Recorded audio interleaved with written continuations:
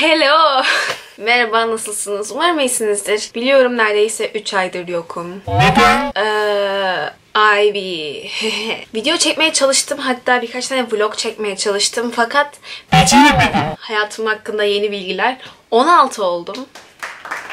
Ders çalışıyorum, uyuyorum. Yani yaptığım tek şey bu. Bugünkü videomuzda ise... Bugünkü videomda 2018'de neler dinledim diye Spotify'a bakacağız. Şimdi bakalım. Bilgisayarım burada. Ay. Ocak. İlkler. 2018 yılında Purple Frank, Take a Stroll dinleyerek başladım ve ilk keşfettiğim sanatçı Digi oldu. Digi kim? Hatırlamıyorum Digi'nin kim olduğunu.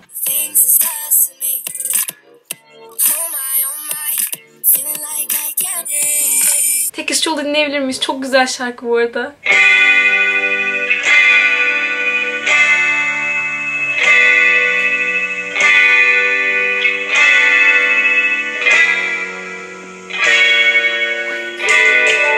Bu yıl kaç dakikada müzik dinlemeye ayırdığını tahmin edebilir misin? 46.917, 40.274, 51.493. 40.000 diyeceğim. 40.274 dakika müzik dinlemişim.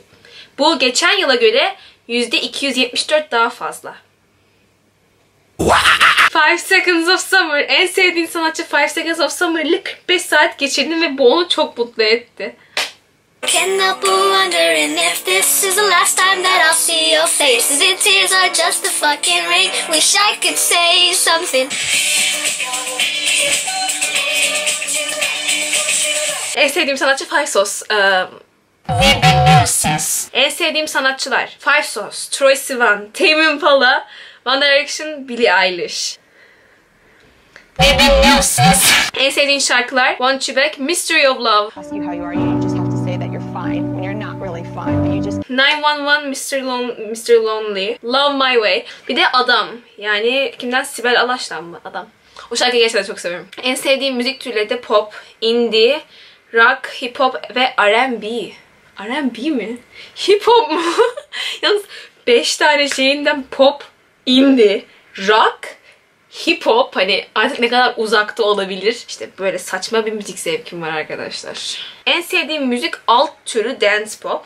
Dünyada bu müzik türünü senin kadar seven yalnızca 2 milyon 872 bin 196 dinleyici varmış.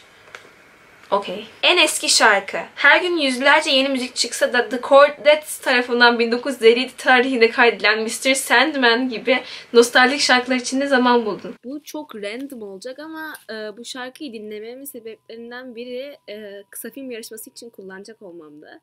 E, böyle kısa bir bilgi vermek istedim. Bilmiyorum. Neyse. Okey.